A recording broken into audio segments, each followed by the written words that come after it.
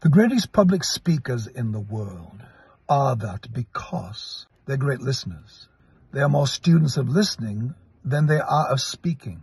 Because they've realized there's nothing worse than being asked to listen to someone who you know is not listening to you or listening to us, which is true, as we know, of most politicians. when you discover the lost art, and it is a lost art, of listening, it gives a super enhancement. It adds magic to your communication.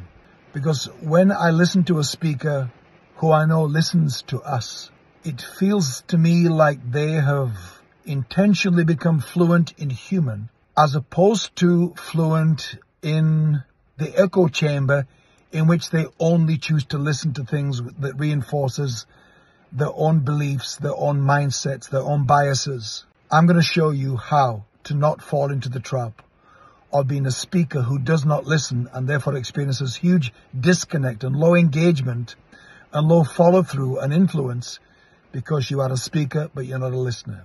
Join me in LA, New York in September, Dublin in October for my live communication event called the seven levels of authentic communication. I'm going to show you how to master the art of listening to super enhance the power of your speaking.